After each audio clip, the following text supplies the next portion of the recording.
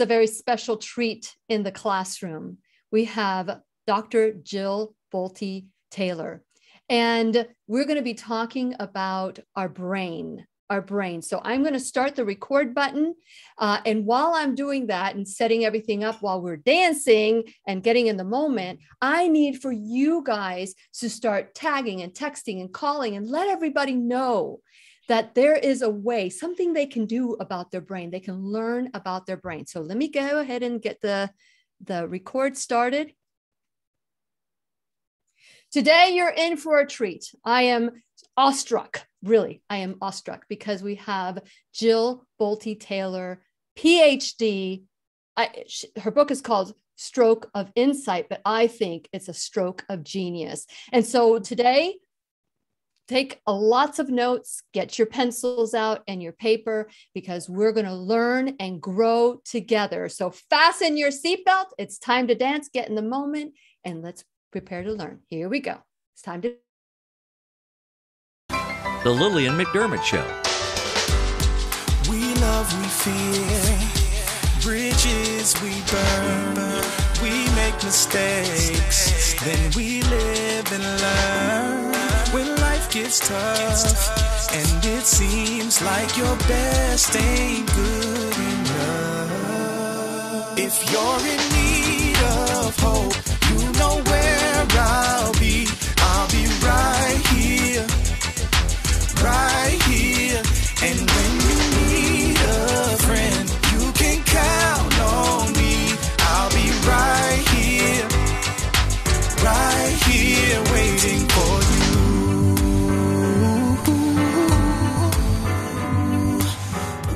This is the place you can always turn to when you need a friend. The Lillian McDermott Show.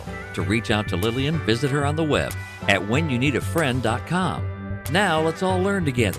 Here's Lillian McDermott. Hello, my listening and viewing friend. It's so nice we can meet each other on the air on this beautiful, best day ever. And for those of you who are tuning into the classroom, please know I've been waiting for you. This is a safe place where you can go to when you need a friend. It is my commitment to provide alternative ways to heal, and it is my mission to make awareness, responsibility, and truth a part of our everyday life. And I hope you, my listening, as well as my viewing friend, will feel empowered to embrace a new truth and live the life of your dreams. Now, we've all heard left brain thinker, right brain thinker, logic versus emotion. But today we're going to destroy some of these myths, you know, because I've been said, you're so emotional and you can't think when you're emotion, but emotional bull. We have the proof here that you can.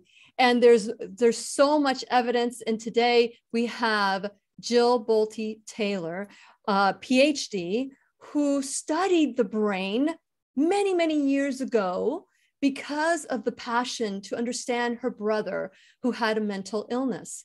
And because of that, she learned how the brain functioned and found herself in 1996 having a rare uh, stroke, a hemorrhage on her left brain, which left her to be totally right brain thinking. And so, can you imagine a scientist, a neuro uh, anatomist, published, someone who understood the brain logically, all of a sudden being right brain? So, Dr. Jill is here in the classroom to share her journey and also teach us how we can live with our whole brain, whole brain living. And since it is our sole purpose in life to give and receive love and knowledge, I am grateful that Dr. Jill Bolte Taylor is here to do just that. Welcome, Dr. T- uh, Jill, Dr. Taylor, in the classroom. I didn't even ask you how you would like for me to address you. Princess Toad. yeah, Queen Toad. Queen Toad. Oh. okay. It's good, to, it's good to be with you. Thank you, Lily. I appreciate your mission in in using the classroom in order to help empower people to own their own power. So I'm really happy to be with you. Well, thank you. Thank you for saying yes to the invitation. So I would like for you to share a little bit about your background, uh, whether it's your um, education, but what led you to this moment and why you do what you do. Just quickly. yes, I had uh, one of my brothers is only 18 months older than I. And I noticed as a little girl, because, you know, kids go together everywhere in a family. And I noticed that we would witness the exact same experience, but walk away with very different interpretations about what just happened. Uh, for example, uh, my brother and I might be playing in the front yard, and the ball goes out near the street, and we're playing near the street, and mom comes out just yelling and screaming like a lunatic and he believes that she's angry and i believe that she's terrified that we're going to get hurt. Mm-hmm. completely sh- different shift in how we interpret emotional content. So i became aware as a very young child about how our brains how we as living beings can have completely different perceptions. And eventually my brother would be diagnosed with the brain disorder schizophrenia. So i became fascinated with how does our brain create our perception of reality reality. So I grew up to study the brain at the cellular level. So I'm a neuroanatomist. I think in terms of cells, cellular links in networks and circuits, and which cells are performing which uh, actions. And, and then, you know, the irony that I'm teaching and performing research at Harvard Medical School. And at the age of 37, I wake up one day and boom, I have a major hemorrhage in the left hemisphere of my own brain. And over the course of four hours, years, I would watch my brain deteriorate circuit by circuit, ability by ability. And so I shifted completely into the consciousness of my right hemisphere. I sat in absolute silence with zero language because that loop is an action of the left brain. And two and a half weeks later, I went in and had surgery. They removed a blood clot the size of a golf ball, took that pressure off the brain. And I continued to sit in absolute silence for another two and a half weeks. And then I started hearing like the little radio channel and maybe parts of words and the language started to come back online. So it was a profound experience through the eyes of a scientist who thinks in terms of these cellular circuits to watch first the morning of the stroke where everything goes off circuit by circuit and then to to go through that process of rehabilitation purposeful re- rehabilitation over the course of 8 years in order to regain all function you know when i hear when i heard your story back in 2014 i mean this happened a long time. You did your ted talk that exploded and mm-hmm. crossed barriers and probably you gave ted talk their name. I mean there you you put them on the map. That's what i'm that's my perspective. But when you when you're when you're seeing how you had this miraculous recovery i wonder why is it that some people have a stroke and never recuperate? What kind of hope can you share that you discovered during this time that people may need to look into? Well, I think it's really important to realize that every stroke is different. You know, there's two types of stroke. A blood clot will get thrown off somewhere in the body. It'll travel in an artery until that that artery tapers so small that the blood clot is too big and it gets stuck. And then mm-hmm. all the tissue that usually gets the oxygen through that blood vessel, that tissue becomes compromised. And so that's one form. The other is if that, for some reason, that blood vessel explodes and then blood goes out into the space between the neurons, and neurons are actually uh, allergic to to blood. So when it comes in contact with it, it can can paralyze or kill neurons. So every stroke is going to be different because the brain is really a very big place. There's uh, some 800 billion neurons. Multiply that by 10, and you have you have all the number of little support cells that are in there. Lots of cells in there. So so the trauma is going to happen, and then it depends on what was the job of those cells. And depending on where, because your brain is organized very similarly to mine, it becomes predictable that if someone has a hemorrhage in the same place I had a hemorrhage, then they're probably going to wipe out the same cells that perform a similar function. So the mm. brain is organized probably about as well as we think of as our body being organized. So, so first it depends on where and the trauma. And did the trauma kill those cells or did it traumatize those cells? And over time can we regain rehooking those those cells back into the bigger functional construct of the other cells. And the brain will, when it's in a learning mode, it can it can learn it can create 1.8 million synaptic connections per 2nd mm-hmm. I mean, mm-hmm. that's a lot. In real time, we can actually watch a group of cells that have been traumatized and watch the other neurons literally reaching in, like people reaching in if there's a wounded person. We reach into them in order to bring them, draw them back out, back into health. So the brain is this amazing uh, uh, organ that is in constant time. It's constantly learning and changing and shifting. And so ca- figuring out how to, what is the trauma? What is loss? And then what can we do in order to positively rehabilitate those specific functions? So, um, you know, there's always hope. As long as we're alive, the brain is capable of neuroplasticity. It's capable of learning and changing. So then it really becomes a matter of, I think, how do we strategize bringing those cells back into the network so that they can then reperform their function. So, mental health and brain health is completely ba- based on cellular health.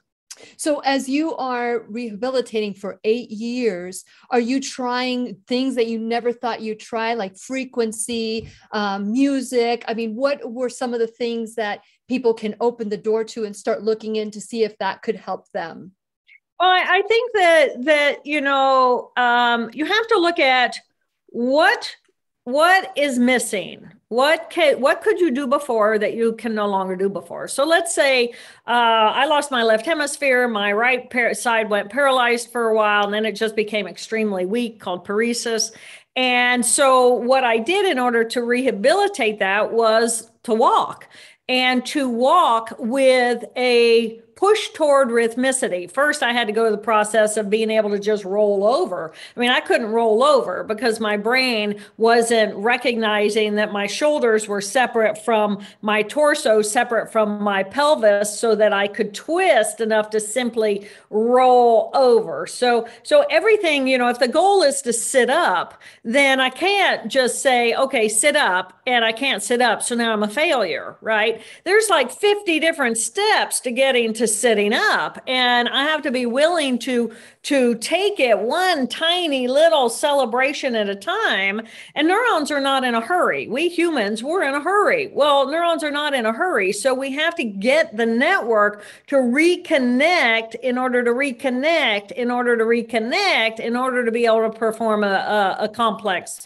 movement. So i think it's really about working with with someone who who understands that we the goal goal is not to go back to to to uh, from A to Z. You've got to be willing to take these tiny steps in order to build up what it's going to take in order to get. You know, a kid, an infant doesn't come out of the womb walking, right? Correct. It's got a lot that's, of steps it's got to go through in order to figure out and to coordinate. Yes. And that's kind of what happened. I described the morning of the stroke as I became an infant in a woman's body. So then it was, you know, what what is what is the next thing I would naturally be able to do but can't do and what is is there an obstacle for me to achieve that? So you know rehabilitation is a very special special subject. Well i'm telling you i'm i'm, I'm really glad. Maybe someday we can come back and you can come back and maybe share some of that rehabilitation story uh, for people that are looking for that kind of hope. And for those of us who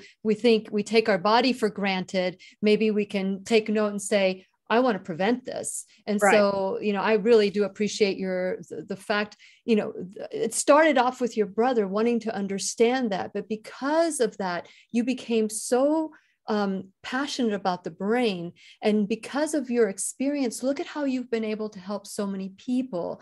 Now, oh, I'm grateful. Oh, without I'm, a doubt. I'm grateful. I, I realize that I would not be the woman I am today if it were not for my relationship with my brother's illness.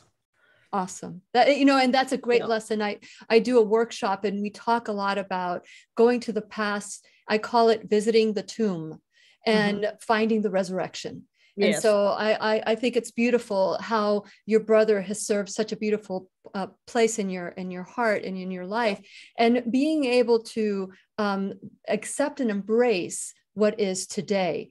Um, yes. So as you were finding peace in your life and finding that you now you're in front of thousands, millions of people sharing your story of, of hope and how the brain and how we can choose who we want to be. Right. Did you get people saying, that can't be, you know, once this happens, you know, the limitation of the, the brain? How were you able to explain the expansion of the brain and get people to understand?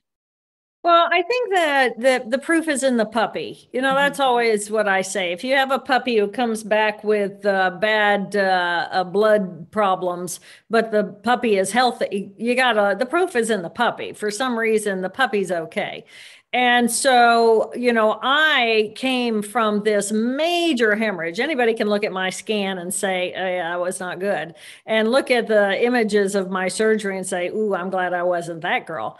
Um, and I had nothing. I mean, I I had become an infant in a woman's body. Um, I shifted completely out of the left brain abilities into the right brain, and, um, you know, my doctor, my neurologist said to me, Jill, your job now is to recover and we won't know anything for two years. So just go, go do what you need to do in order to, to heal yourself.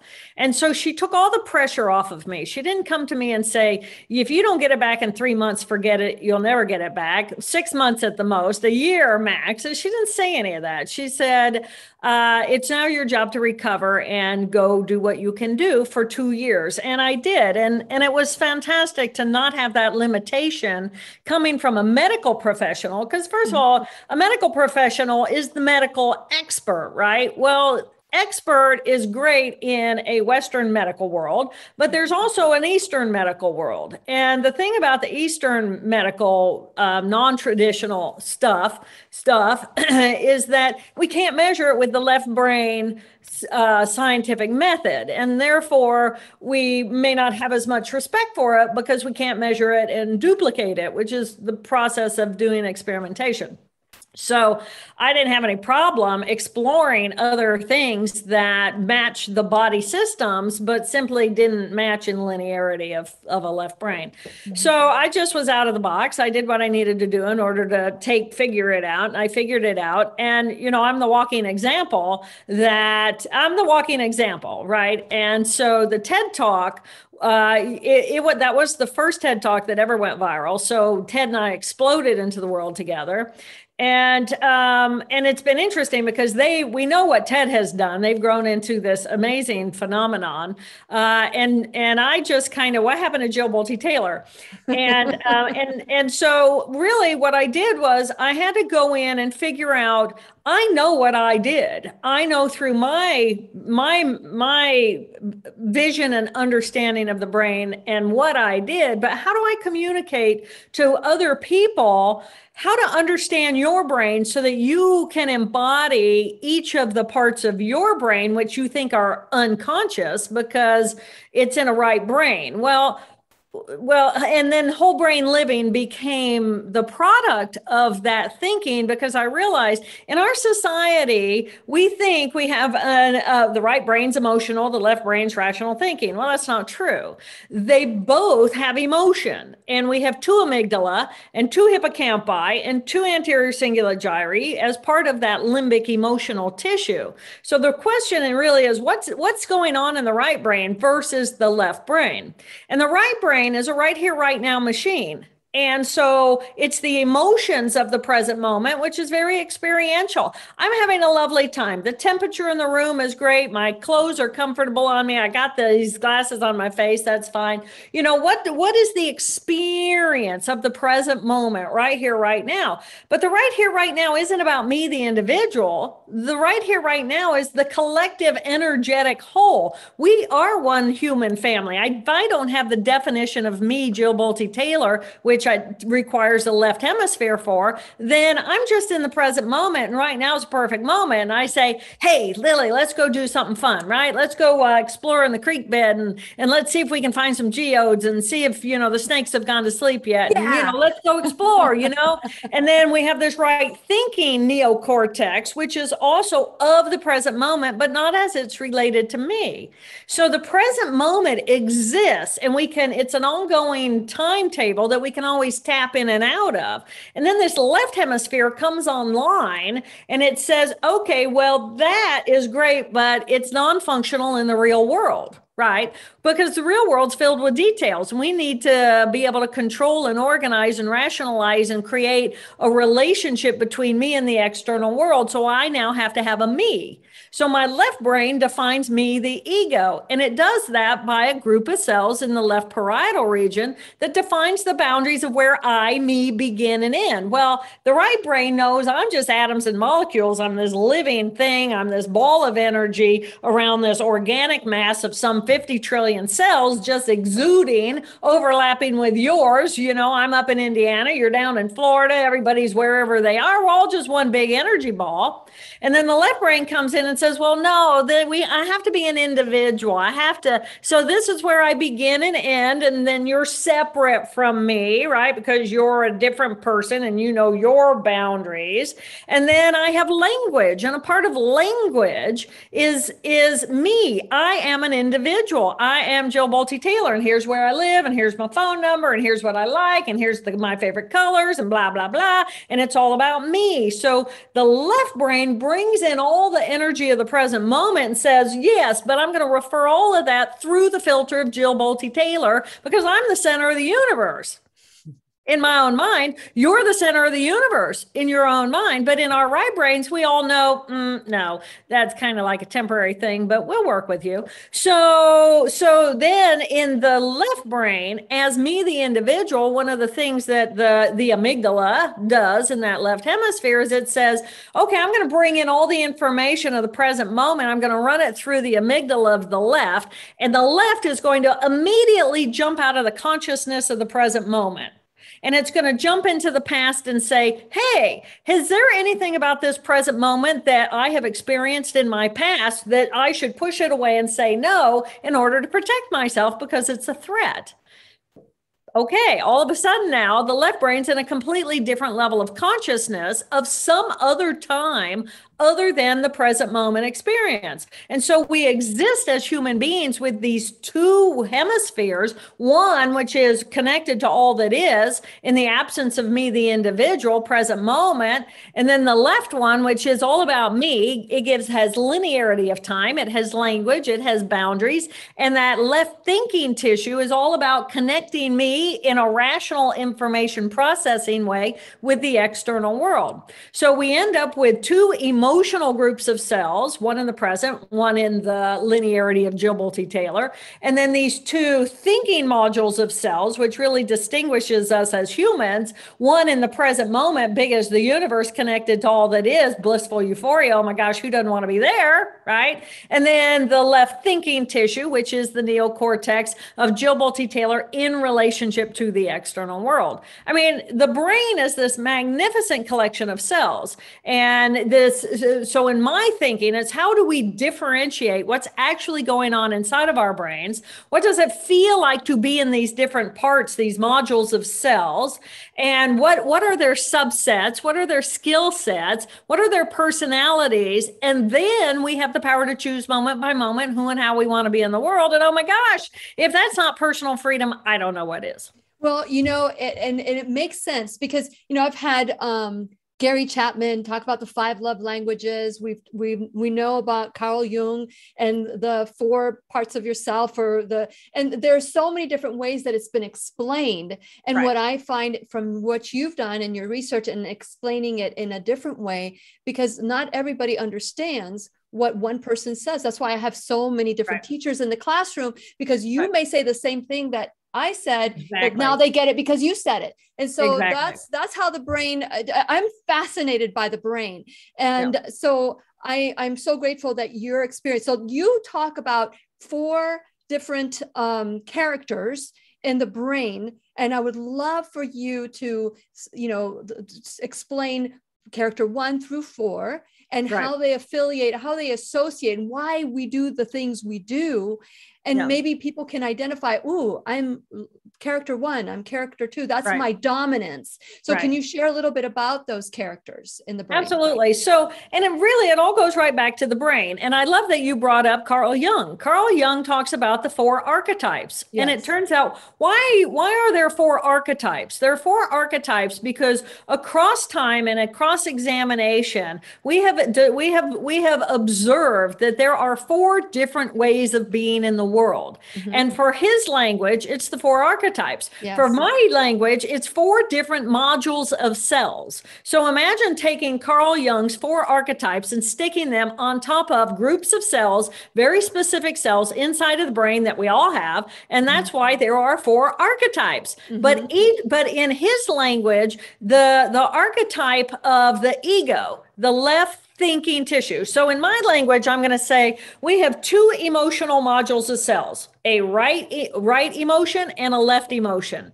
And then we also have thinking modules of cells, right thinking and left thinking. And these are obvious groups of cells inside of the brain. The emotional ones are the alarm, alarm, alert, alert. One is going to be as it relates to me in my past, and one's going to be the experiential of the present moment that I just talked about. So, as we're thinking about Carl Jung's four archetypes, in his language, only one character is conscious. And then we have these three unconscious mm-hmm. parts of our brain. And in whole brain living, I just say to you, you know, I lost the conscious part of my character one. I gained an awareness of character two because I lost that, that left emotion. But I lived for eight years in the consciousness of character three, the emotion of the present moment, and the thinking of the present moment. So these, so whole brain living essentially brings all four archetypes into conscious awareness so that now it's like, oh, well, I don't have to wonder when am I in my shadow or when am I in my anima? When am I in myself? Because there are four characters that I can learn that I'm already embodying. Mm-hmm. Because we're bouncing in and out all these characters all day because that's what the brain does. All parts are always active, boom, boom, boom, but they take turns. And I can identify, okay, so character one, I call character one left brain thinking. So if I took a human brain, and many of you can see me, so I'm just going to use a little model here. If I have this brain like this, right hemisphere, left hemisphere, and I open it up like so, the left thinking tissue becomes character number one. The left emotional tissue becomes character number two. The right emotion becomes character three. And the right thinking becomes character four. These are actual groups of cells inside of our brain, right? So that makes it nice. Character number one, left thinking. This is the rational part of our brain.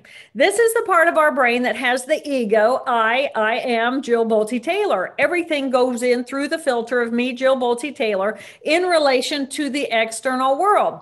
This is the part of me that can, can like, it likes to control everything. It likes to control people in the external world. It likes to fix things. It likes to control people. Uh, it likes to control places. Uh, it's going to put my stapler where the stapler belongs because it wants to know where that detail is so that it can always use it, right? And it's a stickler about that. And it cares that you know that it cares about where its stickler is. So the character one is kind of the controller and the boss. Uh, it also controls uh, people, places, and and then things. So um, it's details, details, more details about details. It organizes and defines what is right, what is wrong, what is good, what is bad. Um, it knows where I put my glasses. It knows when uh, that I I need to keep my glasses clean if I'm on a podcast. Those kinds of details, right? it, it, it manipulates time so that I can actually work my schedule and I can get here on time. So we all know that part of ourselves. It's our A-type personality. Hopefully, it's got you know it keeps order in the house. Um, the and you, I'm guessing Lily, you know your character one. I I do have a bit of that. Yes, I do have a bit of that. I I do. I, I I have a lot of character four too, and Yeah. um, I think I've got a little bit of all. But yes, exactly. uh, you have to Anatomically, be. Yeah, you, have, to be- all four. Yeah, but I love the fact that that's where we develop our sense of right, wrong, uh, Good and bad. we know now where it comes from. You know, That's right. left side of the brain. Yes. Yes. Judgment. Now, Judgment, I yes. encourage people because these are four very distinct identities inside of ourselves. And I encourage people to name these characters because that way, then I can say that character, her name is Helen. And for me, my, I call my character one Helen. It's hell on wheels. She gets it done. Right. Where does she show up? She shows up in the office. She shows up on the computer. She shows up on the phone. She holds my body a certain way. She has a certain voice. She's the only one who's going to put really my glasses on or my earrings in. Right. I mean, she, she does it she keeps the brain nearby, right? Yeah. So character one, for me, it's Helen. It's a character. It's a personality. Pete, my friends call me on the phone. They can tell. Oh, hi, Helen. I say, I say hello, and they say, oh, hello, Helen. And I say, what can I do for you? Right? That's Helen. Helen's busy, right? She's running her to-do list, and they're going, oh Lord, okay, Helen. Um, could you like have somebody call me back later today? And it's like, I'll put it on my list, right? Because that's what Helen does. She runs the to do list. So that's Helen. So that's the left emotional group of cells. That's what they're programmed to do. Get to know your character one. Character two is the emotion of me, the individual, Jill Bolte Taylor. It's all about my pain of the past. It's all about my fears of the future. So it's also a group of cells deep inside of here, as I tear this apart right here, called the insular cortex of the, the of character two. And that's where craving happens. So our addictions are a part of character number 2 Mm-hmm. And character number two is very real and alive in all of us. The pain of the past. Now, I personally, it's important to recognize your pain, process your pain, reflect on your pain, learn from your pain, and move through your pain. Um, Pain of the past, pain of the past, we visit it, we don't make it a lifestyle. Some people get all caught up in the character two, pain of the past, and that becomes their lifestyle. And they're in pain all the time, forgetting that they have these other characters, these other parts of the brain. And the energy ball that goes into that, I'm angry, I'm in my fear, I'm anxiety, I'm craving, I'm in my addiction, whatever it is, I want this, I hate you. All that is powerful. And it's powerful because it's a mighty group of cells designed to save our life. So, this is a lovely, tender little part of ourselves that we Well, need to say thank you. Uh, yeah i i want to i want to say something about that because this is really important you know that you have isolated the the second character of our brain because if they live in character number 2 that will eventually manifest into disease and those are some of the things that we talk about in the classroom and I deal with in the workshop. I help people see that Right. that pain can be Right. their passion, just like your brother may have been your pain at one point in your life and it Right. became your passion. And look Right. at what you've been able to do with your life. Right. There is blessing Right. in everything. And Right. so if we don't, if we ignore that part of the brain, it will lead to disease. It becomes a symptom, and then a doctor gives us a pill. That's right. Okay. That's right. Or we go into an addiction, or in order to not feel that pain, or we commit suicide. Mm.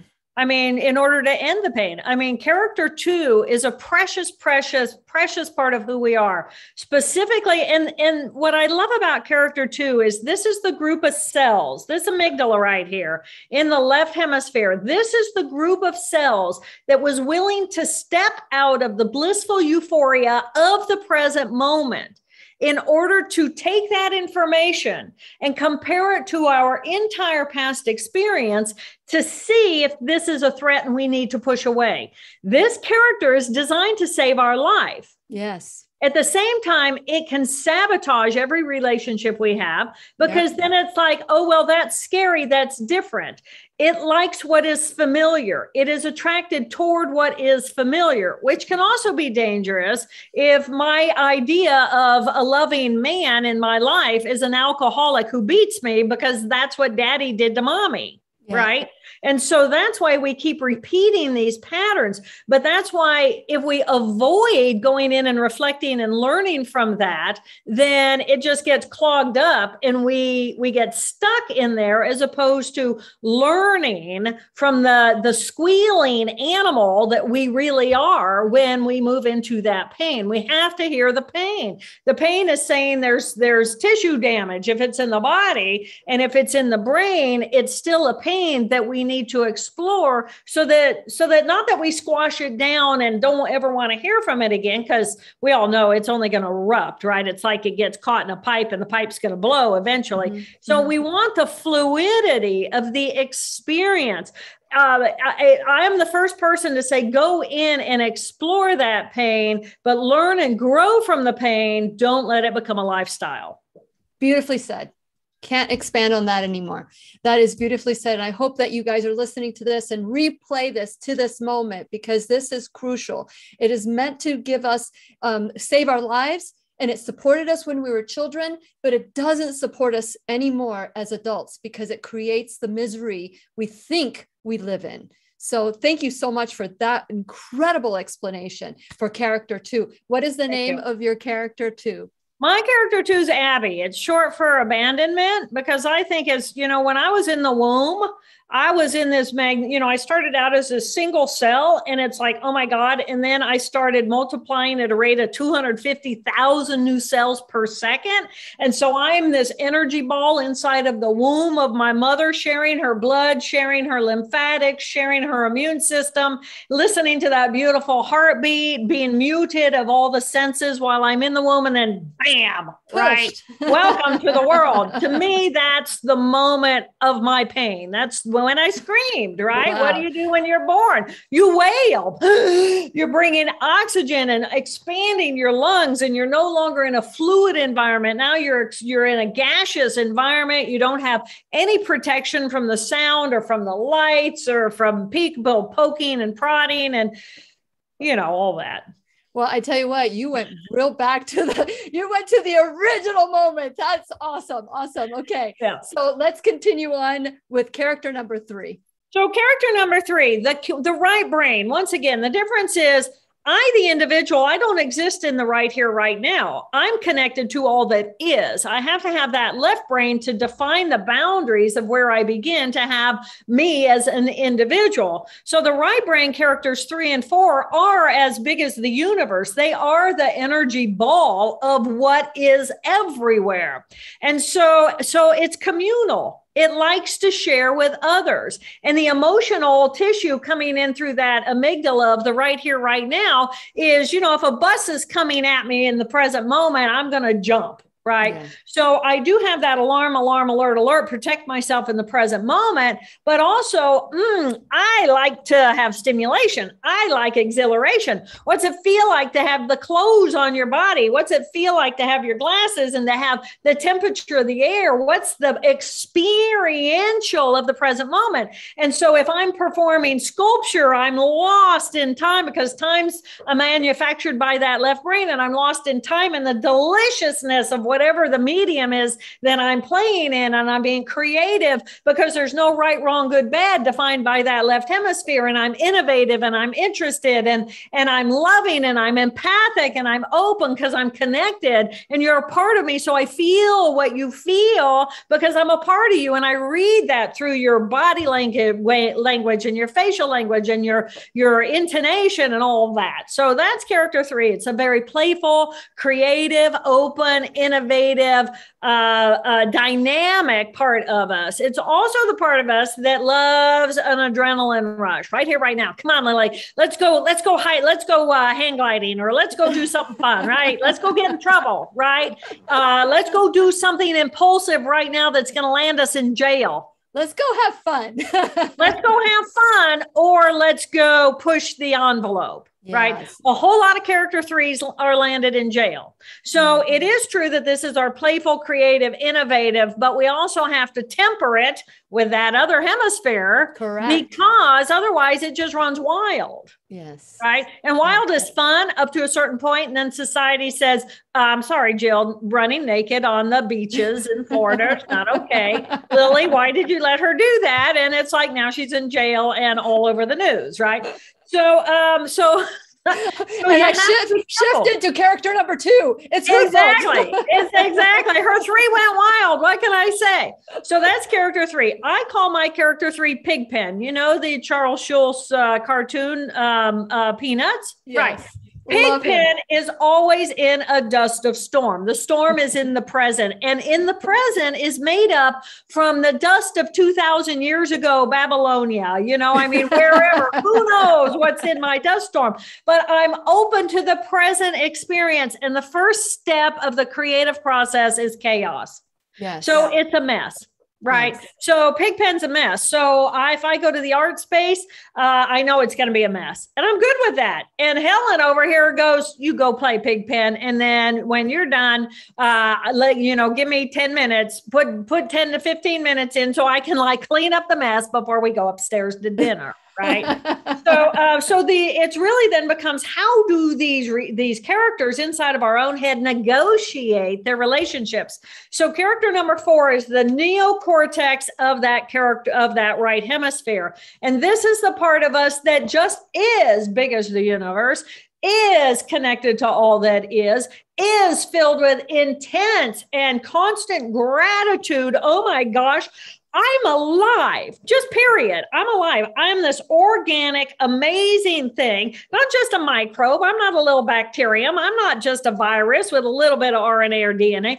I am 50 trillion beautiful molecular geniuses differentiated and refined in their ability. So I can see things through visual cells. I can speak through language tissue. I have legs that allow me to move myself in space.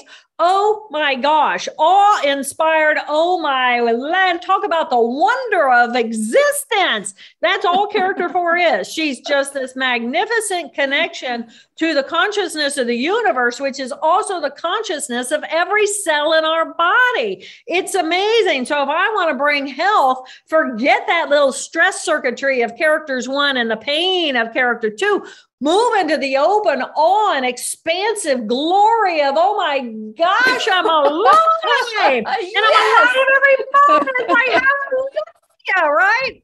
So that's character four. I call my character four queen because she's queen of the universe right? We all are. Queen toad. Toad because i love water i live on a boat I live on the water. That's my lily pad. Mm-hmm. I love my life on the water. So I'm Queen. I call mine Queen Toad. Now, you have another lily pad, me. There you go. And then you're the lily pad. You absolutely are. I mean, I mean, these are the four parts of who we are. And if you look at Carl Jung, character one is going to be the ego. ego. Character mm-hmm. two is going to be the shadow. Uh-huh. Character three, it's right here, right now. It isn't of me, the individual. So it's the androgynous anima animus both the male and the female characteristics. And then character four is what we call what they call the true self. Okay. Okay. Boom, so there be, you have it. It's amazing. So before we go into doing this brain huddle and yeah. finding out how do we integrate ourselves and not just live in in character one or character four or right. maybe even character three and end up in yeah. jail. And so i hope i got that right. And yeah uh, you did. yeah we got did i get it wrong? No you got it right. Oh i got it right. Okay okay. Yeah. So, character um, three is fantastic but there are a lot of threes in jail. Yes that's that's right. And and character two you know there's a lot of victims and victimization oh, does victimization triggers those same um, hormones that give you that love feeling the you know dopamine and all that. So there's there's just so many things that we can benefit from each character. But before yeah. we go into how to integrate all this i right. want to start leading you back to the when you need a friend.com because this is you know what dr jill is talking about with whole brain living I call 100% responsibility. And this is where I've become passionate in my life about this mission, which is, you know, taking ownership. Responsibility is not just about blame, shame, fault, and duty. That's what number two, character number two. We want to live in that four and that one where we can blend it together and, and it become ownership. And so if you want to learn more about that, go to whenyouneedafriend.com please subscribe while you're there. And while you're there, also like and follow me on all my social media, including BitChute and Odysee, which I'm trying to help that one grow because of censorship. I want to be in a place where we can say whatever we want to say without being censored. So please do that. And check out Dr. Jennifer Grameth. We just started yesterday. We started our first meeting for our gallbladder liver cleanse that we're doing, but I'm going to call it Love Your Body Cleanse because your liver helps you deal with every aspect of your body. So love your body and the, the cleanse starts on Thursday. So you still have time if you want to be a part of that. Um, and so Dr. Jennifer Grameth is going to gr- guide us through the whole process. Also check out, um, uh, um, oh gosh, uh, the, the, pharmacy in Merritt Island, uh, where you can get 20% off anytime you go there and say that you heard it for your first order uh, on Lillian McDermott radio show. And you can go to my affiliate bag where you can help. This is all to help grow the classroom because we are donor or, or enrolled student um, functioning by, by your generosity. So with the affiliates, then if you purchase something through there, I, the classroom gets a, a, percentage, whether it's organic beauty products, health insurance, uh, fitness, alternative ways to manage pain, or depression, how to build your body. Uh, those are different products that you can find there. And finally, you can become an enrolled student in the classroom. You can donate a dollar or a thousand dollars a month, whatever you can do to help the classroom grow. Your time, your talent, your treasure will be greatly appreciated because now I don't do sponsors. So I need for you guys to help grow the classroom. And also, I want to direct you to the books that Dr. Jill has behind you. If you go to my website and um, you click on her name for the blog that we sent out, we send out every Sunday. You just click on her name; it'll take you to Dr. Uh, Jill, Dr. Jill Taylor Dot com. If you go to Jill Taylor, Dr. Jill Taylor.com, or you can just click on there. And then if you click on the stroke of insight or whole grain, uh, whole grain, whole brain living, I'm thinking Perlmutter here. And so uh, whole uh, brain living it'll take you to those books. You can purchase it there. Um, and so dr jill i am so grateful for just uh, helping us understand our brain and why we do it. So how do we integrate because there's a lot of people that i know right. that are just so doubtful or right. you know so logical that there's no room for emotion right. or everything is dismissed because it doesn't fit the logic. How do you start bringing this together you know i i uh, that's why i love the anatomy and i love that you're helping people gain a level of responsibility. I call it cognitive and emotional accountability because it's like, oh my gosh, you know, I've got this going on inside of myself. And I do have the ability to pay attention to, let's say, um, uh, you know, I come home and uh, you're there and you're in your character one and you're busy. And I come home and I'm done with my day. And it's like, well, we had an appointment to go for a walk and I want to go play. Right. And so my little character three is like, like coming in going, well, uh, you said we, we get to go play. I want to go play. And you go, you go, you say, pigpen. Pigpen, I need 20 minutes of being a character one. You give me 20 minutes of being a character one, we can go be character threes the rest of the afternoon okay that's language that's communication. Mm-hmm. otherwise you come home you're your character one and you say um, i need uh, i need to be my character. I need to to work for a while. And i'm going but you said but but but and so i move into my character two and then you move into your character two and it's like rah, rah, rah, and so we end up with a spat with one another because the characters aren't communicating with one another and you know the default is always to get ugly with one another Imagine that, especially out in public now. Isn't that yeah, fascinating yeah, how that's yeah. going on? so I'm so so I've created this technique. It's called the brain, B R A I N. That's the acronym. The brain huddle. And the brain huddle is bringing all four characters into the conversation. And at any moment in time, usually in the course of an hour, we've run through all four of our characters a little bit here or there, probably a dozen times. They're busy in there, right?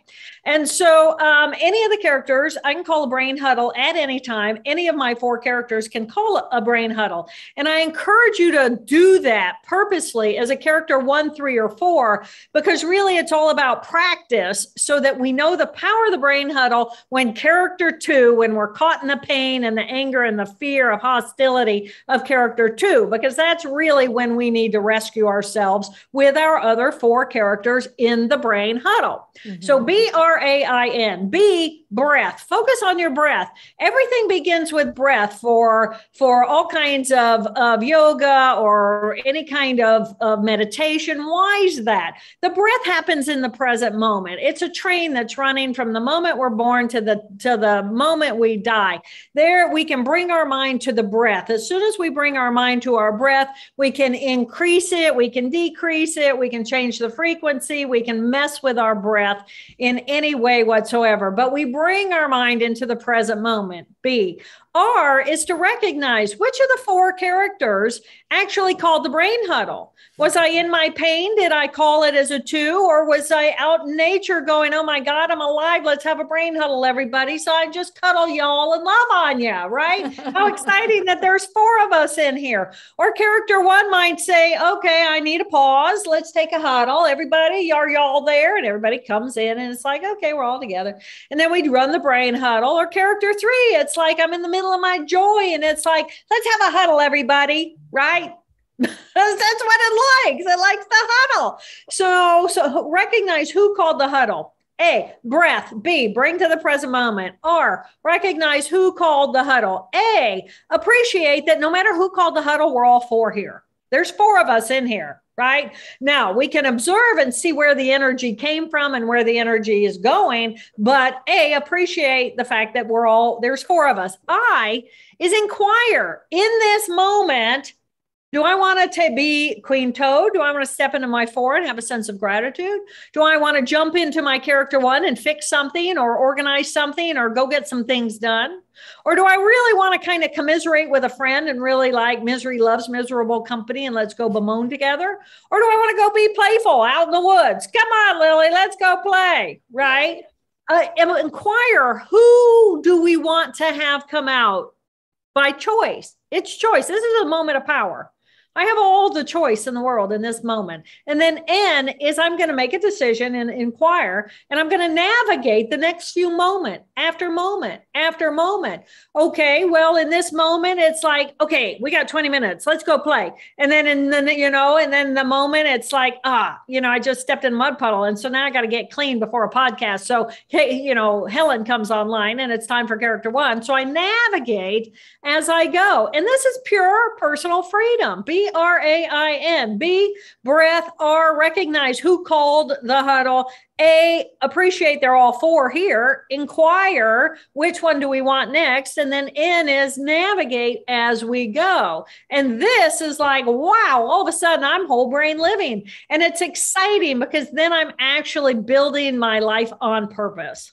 I think it's amazing that you were able. And again, I had said at the beginning that stroke of insight should have been called stroke of genius because this is really a wonderful way for us to embrace our brain embrace, embrace who we are and yeah. work with what our strengths and weaknesses are you know that that is something that in our lifetime you know we we tend to do the things that we're strong and we're good right. at but the reality is we need to also or we get to spend right. time also in the things that we are not so good at and it's yeah. good to just call on all of it and by the way for those of you who are watching and you have any questions for dr jill you can put in a queue ask your question and we'll ask it during the um, teacher's pet corner uh, if, if you have a question just please feel free to do so um, but so let's say somebody is like oh I that's you know I, I can't you know it doesn't make any sense. How am I going to stop? How am I going to make myself? Is it easier as you go by and continue to do this? How do you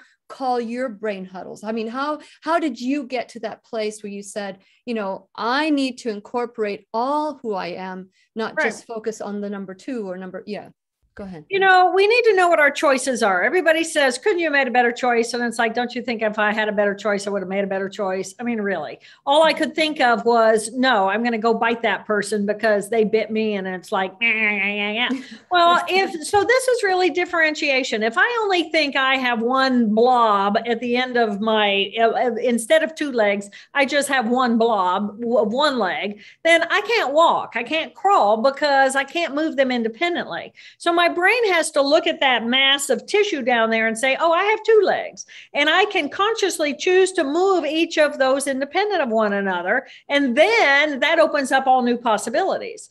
And the same thing's going on inside of our brain. By understanding and being able to differentiate between these different parts of ourselves, then it's like, oh, I can actually recognize, you know, I went to that party and I went in as uh, as a two. I was really scared, but then somebody came up and they were really playful and open, and and it was like, and then I was playing Jenga before you knew it, and then I was laughing, and then I was in my character three, and then I just kind of sat back and looked back and said, you know, I really do love these people. My life is so blessed to have these people in my environment. And then it's like, oh, and then somebody spilled some uh, some wine, and I jumped up in order to like go be a character one and help clean it up. So you know, we've got all of this simultaneously going on inside of our brain, and whole brain living simply allows us to recognize these are three very four very distinctive characters. And so that's why I wrote the book. And the book will take you through character one, and it will teach you all about the skill sets of those cells at a cellular level. And then what does it feel like when you're embodying your own character one? My character one feels completely different than my character three. My, I, you know, character three, I just become like, oh, and I'm bouncing all over, and it's time to dance, and it's like, woo! And character one is going, really, Lily's going to make me dance. Um, right. So, so you know, they're all very different, and the better we differentiate, this is about maturing our own differentiation, refining our relationship with our own brain cells, and our ability to create the world and life we want this is this is wonderful. Um, so you do recommend that each one of us spend time with each part of our brain. Oh, absolutely. look at it love it and figure out how can um, when i coach people i always tell them take the things that you're doing your habits that you're doing and rewrite right next to it. How would you do that differently? How can you do this to to really love yourself? How can you know how can you tame that that thought that says you're stupid idiot or whatever? How can you change that thought and rewrite the program? What do you recommend for someone who is totally um, you know a victim uh, and hasn't named their their victim character number two what do you recommend for someone like that to shift out of it other than to call a brain huddle that they may not be able to call a brain huddle I think that the most important thing that people can recognize is that we are biologically programmed at the level of our own brain to love ourselves. There is a part of our, our self, uh, the awe, the wonder that I have life at all. If I'm focusing on all the negative and all the details and all the things that that make me sad, make me mad, make me less than and if I if I'm focusing my mind on that group of cells, then that's the group of cells that's running. And the thing about mm-hmm. brain cells is that the more time we spend running a circuit, the stronger that circuit becomes and then it becomes uh, automatic and habitual thinking. So, how do we create a habit? We start something, we think another way, and and you know, we have the ability when I move into my character two, there is a a feeling of what it feels like to be that part of myself. Well, I know what I feel like when I'm not in my character two. Now, if my whole life is a character two, I'm going to encourage people to look at other solutions for true medical depression. Mm-hmm because that can root into that character to just routinize, routinize, routinize. There are a lot of behaviors that we can do. And, and but but if I've tried it all and I can't get out of it, then I do have to go and look at my biology and I have to say, what is actually going on at a cellular level? And mental illness is real. I look at my brother's schizophrenia, his brain hallucinates and hears things, hears the voice of Jesus 24/7. This is nothing I can I can do anything with because his cells are actually biologically programmed for that hallucination. Now, can we teach him about what is going on inside of his brain? Well, if he would let us teach him, yes, we could help him in that way. But he won't. It's not he's he's not wired with the capacity. So I do want to first of all distinguish mental illness is true and real. And chronic depression, there are several different biological reasons for true depression, but this is really about how do I take my brain as a person who isn't going to be at that chronic uh, or acute severe depression or mental illness? How do I work with the cells inside of my brain in order to strengthen certain circuits that I know that I can in order to distract myself away from that pain? Or how do I focus on that pain with a part of myself, my character for that is loving and supportive? We are never alone. We have the perception in our character two that we are alone and isolated and lonely because there's a group of cells in there that defines me as separate from the whole. But I'm not separate from the whole. I only have that perception. But I then have that right brain ability to hook into the consciousness of my characters three and four, where I can use those characters to self soothe myself. And then there are tools that we can teach ourselves to self soothe. And it's the same kind of thing. When my mother died, she was my self soother. I didn't have that. I didn't, I had my own little character two. And I'd go to my mama, and my mama would come in with her love and she would soothe me. And then once my mother passed away, it was like, well, I still had my character two, but now I didn't have my mama's character four to come in. And it was like, well, what did she do? What did she say to me? How did she hold me? What was the support that she brought to me? And I learned I could train myself then to give that to myself and create this healthy relationship between my own character four and my character two. Well, I think this there's more to discuss. For those of you who are listening on podcasts, come watch the whole entire class with Dr. Jill Bolte Taylor. This is so amazing. Ask your questions because I know you have them. Uh, so that we can continue this conversation in the Teacher's Pet Corner. Thank you, thank you, thank you for this opportunity to learn more about the brain. And please remember, go to drjilltaylor.com to learn more and continue to grow. This is Lillian McDermott and Dr. Jill Bolte Taylor wishing you love, peace, joy, and unexpected abundance. Make it the best day ever. The opinions and advice expressed on the Lillian McDermott radio show are intended for the individual callers and guests on the program and are presented to our wider audience solely for general educational purposes. Please act responsibly and consult personally with your own medical, psychological, or nutritional expert before taking any steps to improve your life. Okay, so we have some questions. Um, before I um, ask the question, that's the, uh, the questions that are there, uh, and all of you type in a queue, write your questions down, and then I'll read it. Let's talk about addiction because there is something very powerful, very powerful when it comes to um, character number two with addictions um, and how important it is for that number two to show up to heal yeah. any addiction or any craving. Right. Would you like to elaborate on that? You want me to do that? We're ready. Right we're ready. Oh, we're ready. Yeah. I'm, I'm good. Okay. So um, addiction is um, a group of cells inside of the brain that says, um, I'm stimulated. I want something. There's something that I want. Crave, crave, crave and then it hooks into this whatever the it is that we're addicted to that then hooks into uh, you know the pleasure centers of our brain. And so the way that i look at addiction in that character two and the pain and how do we do that is um, i believe simply because we're alive we are all on the hero's journey. And so the hero's journey is going to take those four archetypes of Carl Jung and put them by Joseph Campbell into this mythological storyline where the conscious mind is that character one. I am an individual and I am mighty and I am powerful and I'm in my world. And then I have my shadow self, my pain, which is that character two.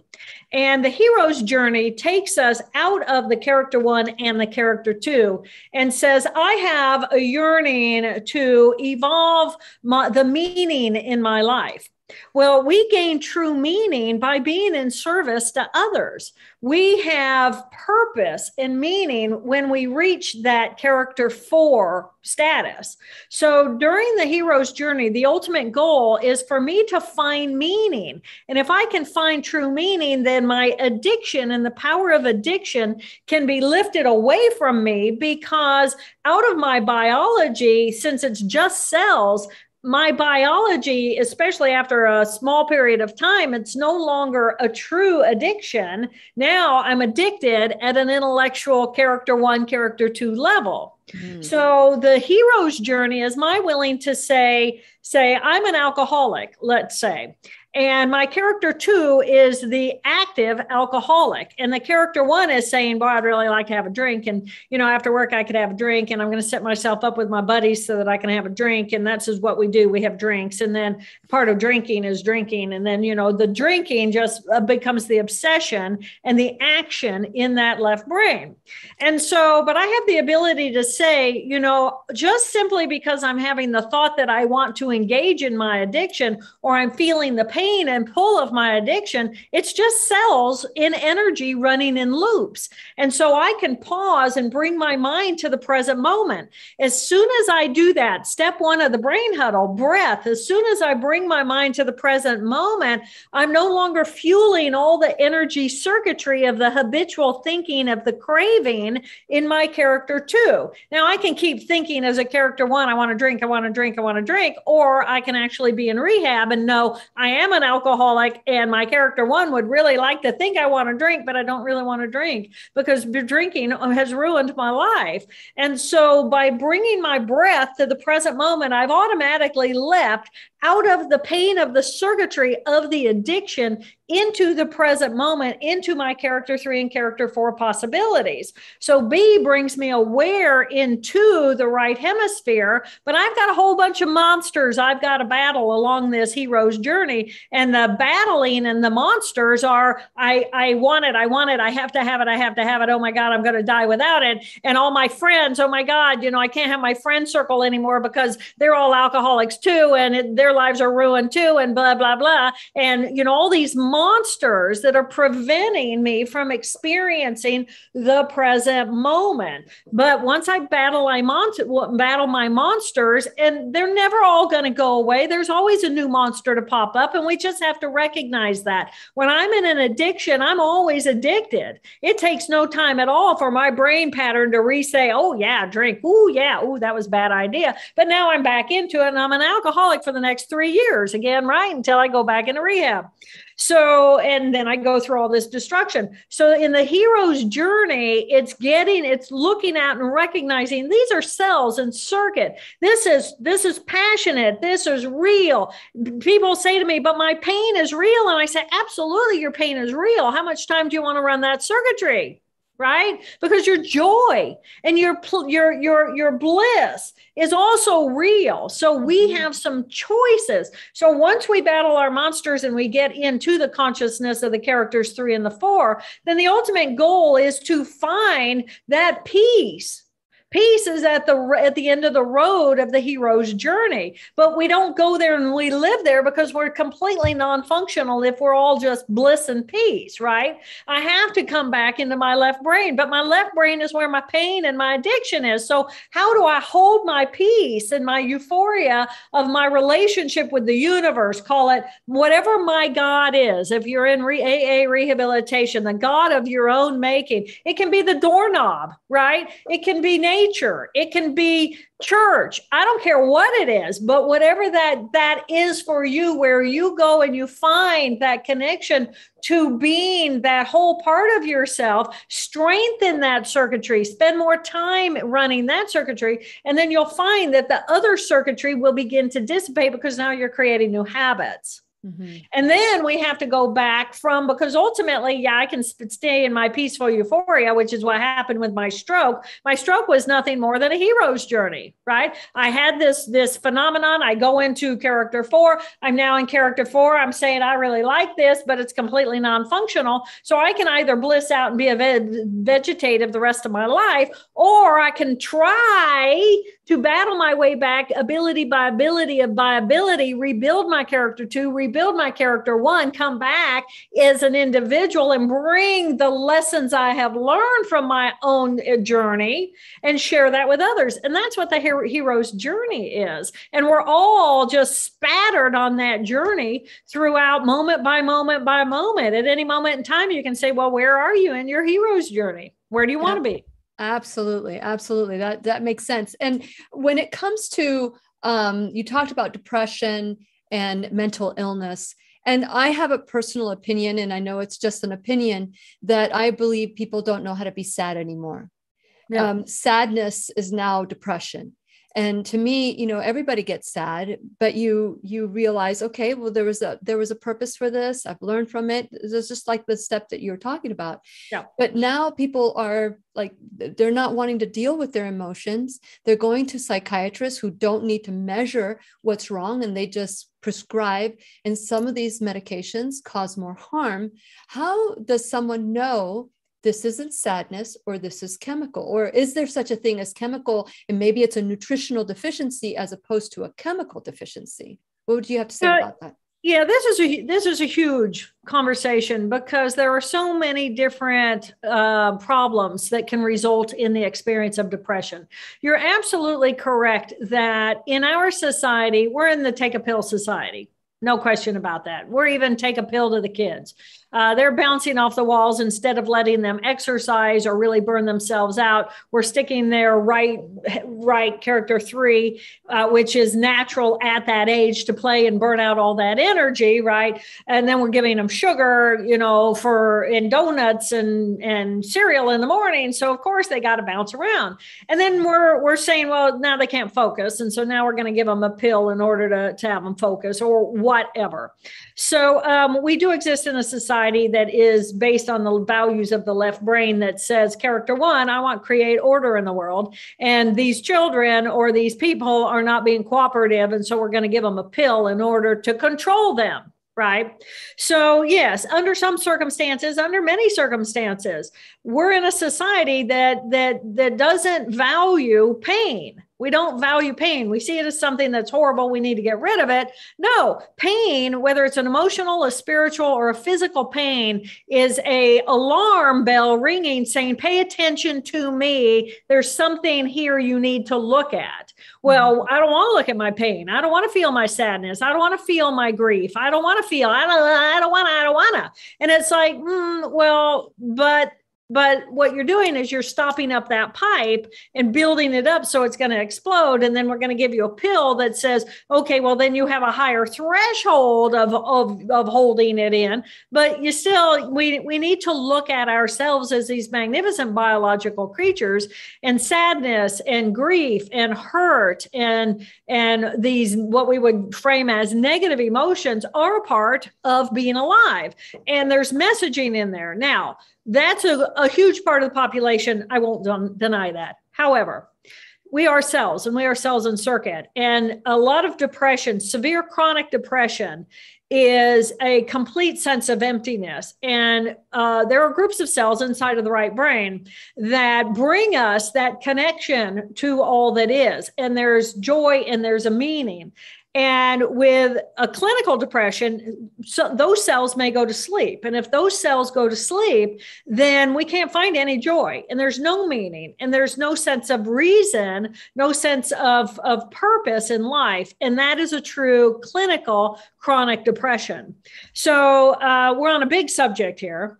Uh, and I will say, yes, it's important to examine it, but but and, and, that's why I encourage people to explore ways of opening up and exploring what is the pain that I'm feeling, why am I feeling it, and are there therapeutic ways that are are that I can I can get out of that part of my circuitry into other parts of me, um, and yet there's still going to be a small population of us that actually will benefit from medications because what medications are going to do is they're going to change the at the cellular level the level of communication of which cells are communicating with which cells with which chemicals and what quantities of those chemi- chemicals for what period of time.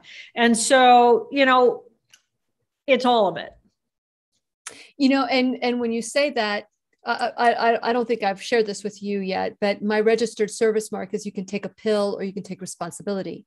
And it's not that I'm against the pill. I am, I'm against, right. I'm for doing things that will help you explore where's the pain why is it what's the discomfort what, what is really truly right. going on how can i use this for the greater good but as i'm listening to you speak to lose character four in your life right there that to me um uh, if i if i were to name my character four it would be grace.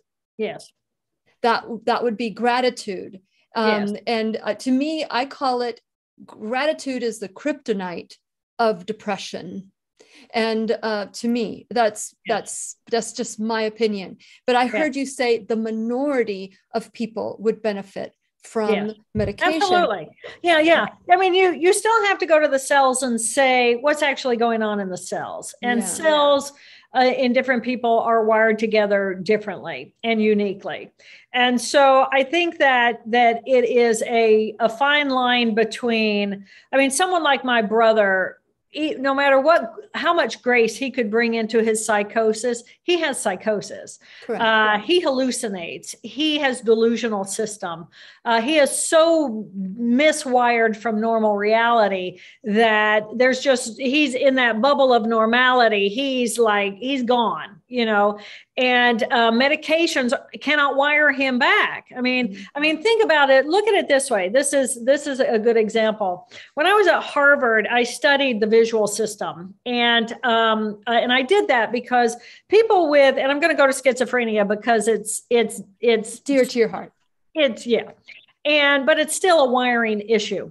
So people with schizophrenia often will have a, a normal person, if I'm watching a normal uh, target move through space, the normal brain will jump in front and then jump on, jump in front, jump on, jump in front, jump on. So I'm actually focused on the detail and where it's going the brain, many of something like 80 per 86% of people with schizophrenia have what we call a, a, wave jerk. So they will jump in front and then behind, and in front and in behind, which means their eyes, their visual brain system, which is a third of what's going on inside of the head, is never focusing on the target that the rest of the normal community are. Mm-hmm. How on earth do you take all that raw data that is miss and create a hit? You cannot do it right? And then there are other issues with sensory systems. People with with um, uh, schizophrenia their level their tolerance of pain is really really high. So so uh, we might respond down here pain pain i gotta respond i gotta i'm gonna have a heart attack. Well a lot of people with severe mental illness will have a heart attacks because they're not feeling any of that pain until it's the big one right? Mm. So their sensory perception of the world is building for them a world that is different, skewed away from what any else, what the rest of us would refer to as normal. So it is true. Mental illnesses, brain or brain diseases, brain illness is a, a different wiring. And if you are wired different to some degree, yes, we can help you wire yourself back, but you've got to be wired enough to normal that you want to do that. Mm, very good point. Very good. Yeah. Okay, so I have another question. Why do they say it's chemical imbalance, but there's no test to measure? That's a big question. So, so let's say then I'm going to go back to which cells are communicating with which cells with which chemicals and in what quantities of those chemicals. Mm-hmm. So there is a system. There's a dopamine system. Cells that communicate with dopamine. Cells that communicate with serotonin as the chemical, the neurotransmitter. And so we know that if we often with depression, there is a decrease of the impact of the serotonin system and and so we can influence that serotonin system in several ways. We can encourage those cells to create more serotonin, um, or by taking something like 5-HTP, which then may turn into uh, 5-HT, which is serotonin. And so we're increasing the volume, the amount of serotonin. Or if you're selling, I'm a cell and I send out serotonin and you have little receptors, and um, we can then give a uh, serotonin reuptake inhibitor, meaning that that serotonin between us is going to stay out there longer instead of being reabsorbed back by me or I'm sending serotonin to you and you have those receptors. And then uh, we can give a, a serotonin uh, uh, um, amplifier, which will have the serotonin stay on the receptors longer so that ultimately we are influencing the overall impact of serotonin in the serotonergic system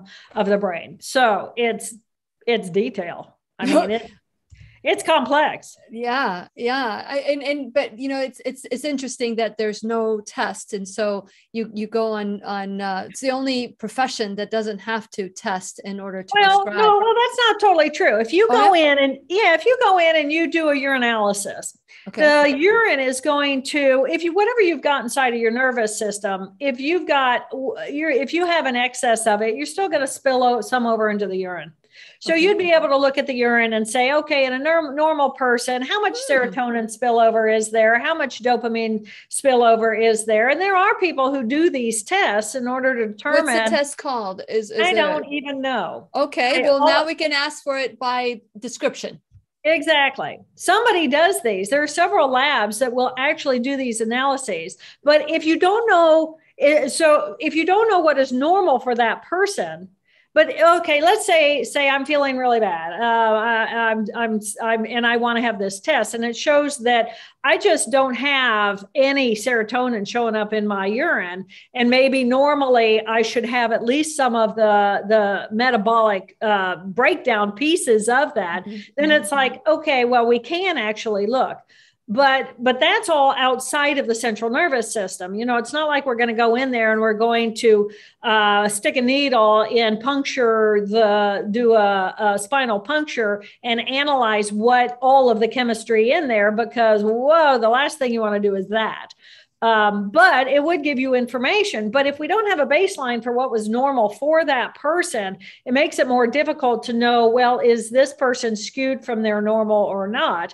Um, but there are ways to, and so so the easiest way, which is why we go to behavior, is that the, the dopamine system is our pleasure system. It's our reward system. If we're not feeling a lot of pleasure or reward, or it's taking more of my drug of choice to give me the same pleasure that I had before, then you know biologically that the influence of what that drug has done to the dopamine system is those receptors now kind of pull themselves back because you're overwhelming with your drug that cell, and that cell's a living being that's trying to save its life. Mm-hmm. So you can go and look at the behaviors. And from that, that's why we can go neuropsychologically what is going on, because that's the output of the system. Very good. Very good. That that makes sense. That makes sense. So, you know, I I want to encourage all of you that are watching today, listening uh, in today or in the future, uh, to get the book Whole Brain Living and figure out what the names of your characters are. I think if I were to give mine, it would be um, Victoria because I we're always trying to go for the victory. Like I I love getting things off my list. You know, when I know I have lots of deadlines, I love getting so that's victory, uh, Victoria. Yep. Um, then for number two, I would say Izzy because I would I think that my my initial years was the, the abandonment. To me, it was like insignificance. I was Ah. one of many kids, and so Izzy maybe sounds a Yeah. little bit more like insignificant Yeah. and uh, I felt insignificant most of my life. And Yeah. then for number three, it would be Addie because I do like to to to add, include, and and have that um, also Exactly. be. I love to the joy of doing things and action and all of that. And then last would be Grace, my character number four, being grateful Beautiful. and and having gratitude. So I want to encourage all of you share your four characters with me. Uh, get the book, journal about yourself, get to know you on uh, on on January 15th, 16th, and 17th. The I am the solution. The I am is God in us. The I am solution. Um, the solution is the acronym. I am an acronym queen. So when I saw your acronym for brain, I thought, oh, love this woman. Uh, I love acronyms because it helps me get Yeah. things organized, get things done. And uh, so I want to encourage all of you to dive into your life, dive into, listen Yeah. to what Dr. Jill Bolte Taylor is telling you because she lived it. Yeah. You know, and now you get to live it too without having to experience everything she had to go through. Yeah. I, I just want to ask one last question. Yeah. Do you feel that you were able to thrive the way you do because you were number a character number four for such a long time you were limitless and there was lots of possibility do you do you what do you attribute your will to to get to the place where you're at today? Well, I, yeah, I think it was, you know, as character four was there, wow, great, awe, wonder, I'm alive, but I'm alive and I don't have a left brain now. So I'm, you know, I'm going to exist for eternity in this blissful euphoria, but I'm alive. What can I do with my life?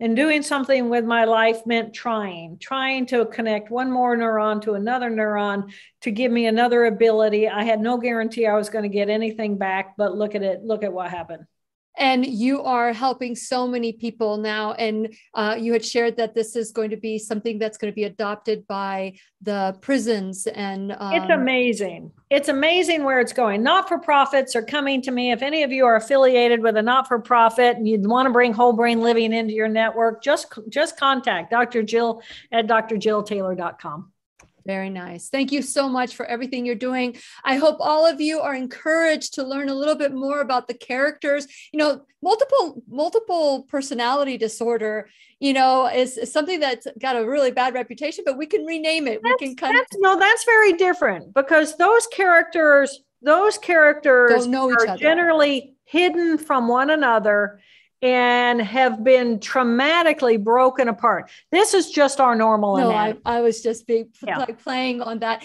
that we have these characters within us, all of us, but we yes. can become a team as opposed yes. to working against one another. So, Dr. Jill Bolte Taylor, thank you so much for gracing us with your wisdom and empowering us with some new tools to become better for ourselves. So, I'm going to say goodbye to all of you on uh, Facebook.